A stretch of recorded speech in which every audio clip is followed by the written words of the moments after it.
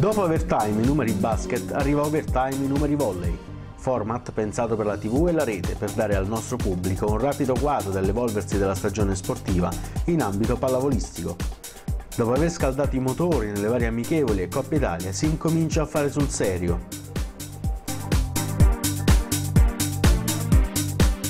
Nella B2 femminile girone G il volley Terracina andrà sul campo della Roma 7, mentre il Gio Volley Aprilia ospiterà il Volley Group Roma. Esordio storico per la pallavolo in turno che chiuderà la prima giornata nel posticipo ad Ostia, osserverà il turno di riposo il Sabaudia. Mister Ciufo, una, una presentazione di questa stagione che si preannuncia molto combattuta, sicuramente cercherete di dare il filo da torcere alle, a tutte le avversarie. Eh, sicuramente, sicuramente faremo, faremo, del nostro meglio. Eh, il campionato che andremo a, a, ad affrontare sicuramente è un campionato nuovo per noi e quindi non, non, non sappiamo le, le, le forze insomma, di, questo, di, questo, campionato, ma sicuramente le ragazze ce la metteranno tutte per fare bene. Come sta andando questa preparazione ehm, adesso che è alla vigilia della prima gara in trasferta? La preparazione è benissimo, benissimo anche le, gli incontri amichevoli che abbiamo, eh, che abbiamo fatto sono andati a buon fine praticamente tutti. È ovvio che in questo momento il grosso carico di lavoro che le ragazze sono costrette ad affrontare eh, limita un pochino le loro, le loro qualità, ma già da, già da domenica sicuramente eh, insomma, le, le, riusciranno a dire la loro. Gli innesti, ultima domanda, come, sono, come si sono integrati nel, nel roster? Molto bene, molto bene, alcuni sono dei rientri, quindi non sono dei veri e propri innesti. Eh, le, due, le, due, ragazze, veramente la, Ilenia e Patrizia, le, in effetti sono gli unici due eh, innesti veri, eh, benissimo, sono ragazze abituate a lavorare in un certo modo, che conoscono la categoria e quindi non hanno, non hanno nulla da, da invidiare a, a nessuna, nessuna, ragazza delle, di questa categoria. Con Bruno Procopio eh, una stagione che è stata, è stata preparata eh, con grande meticolosità da voi dietro le quinte.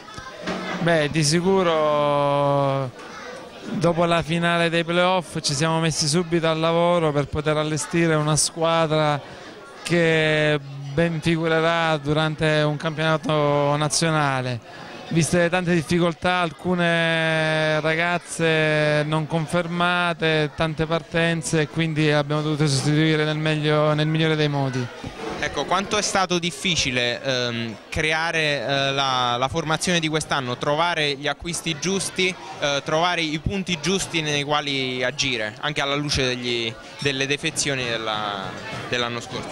Beh, eh, difficoltà non ce ne sono state tante perché comunque quando ti vai a rapportare in un campionato nazionale ci stanno i procuratori che ti offrono tante giocatrici, poi l'importante è trovare quelle giuste. Noi abbiamo fatto alcuni provini, abbiamo visto cioè, quello che secondo noi facevano al nostro caso e abbiamo scelto. Ecco, subito una trasferta alla prima giornata, eh, come, eh, come, si prospetta questa, questa, stagione, quali sono gli obiettivi? Beh, gli obiettivi sono quelli di fare un ottimo campionato, un buon campionato almeno Etto, la prima trasferta andiamo ad Oste che l'anno scorso si è posizionata quarta nel campionato di B2, ha un solo punto dai playoff, però quest'anno è una squadra totalmente nuova, ringiovanita e speriamo di giocarcela almeno alla pari. Con Massimo D'Acunto eh, trattiamo le, eh, le, categorie tra virgolette minori ma non, non, certo meno importanti. Iniziamo dalla prima divisione. Allora la squadra della prima divisione l'Under 18 è la stessa squadra.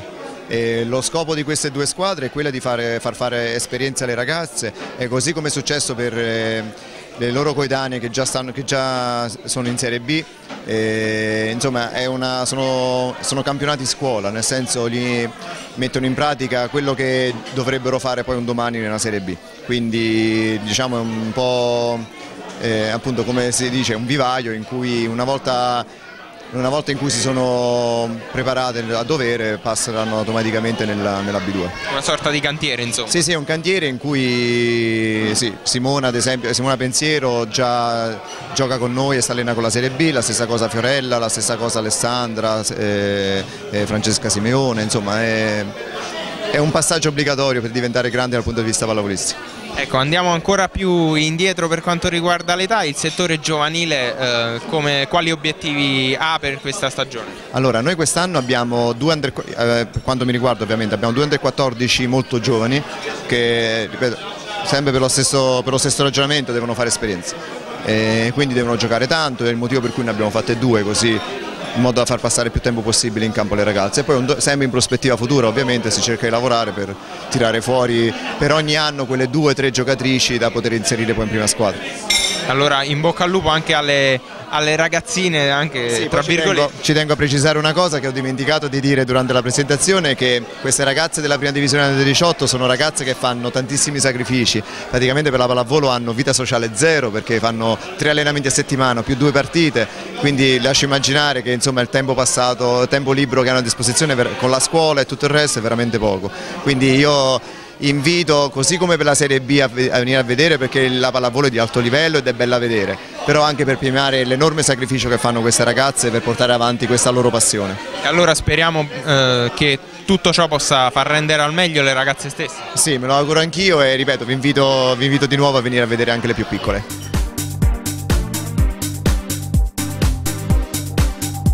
Nella C regionale Girone B, prima di campionato casalinga per le squadre pontine, si inizia da Futura Terracina Virtus Roma, mentre domenica è il turno di Fondi Spes Mentana, che chiude il quadro della giornata.